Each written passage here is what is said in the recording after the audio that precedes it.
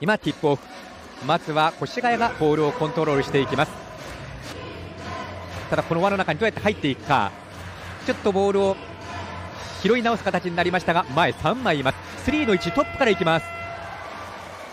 ここで福島 HA ピークが取りに来る。小寺に渡って小寺に対しては玉木がつくがじわりじわりって最後は左手1本。決めきりました。昨日は4本。今日はすでに3本スリーポイント決めています。ちなみに今日おっとここはテレス・キングバンクショット決めていきます。飯田博時。しかしすぐさま長谷川スリーを狙っていく。あっとここは決めたかったところ。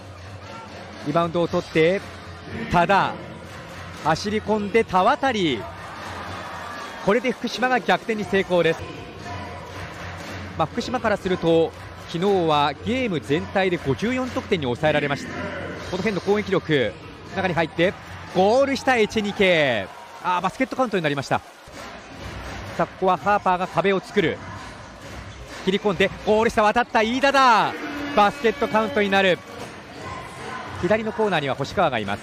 LJ ピーク受けて入れ替わって中長谷川。これ厳しいマーク。バッツには渡ったがバスケットカウントだ。右に長谷川。自ら行く。ゴール下。またもバスケットカウント。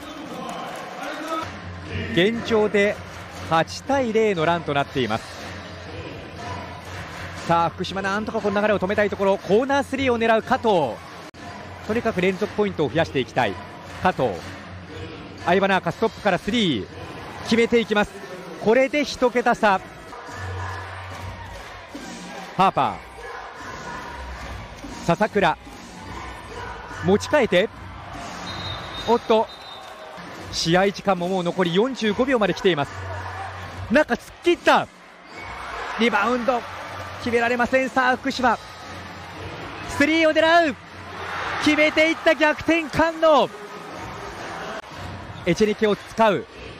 中に切り込んで2を狙っていく。決まらない。しかしセカンドチャンスエチェリケ決めてゲーム終了。オフェンスリバウンド。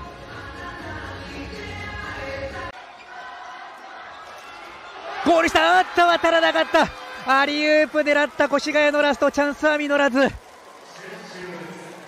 83対81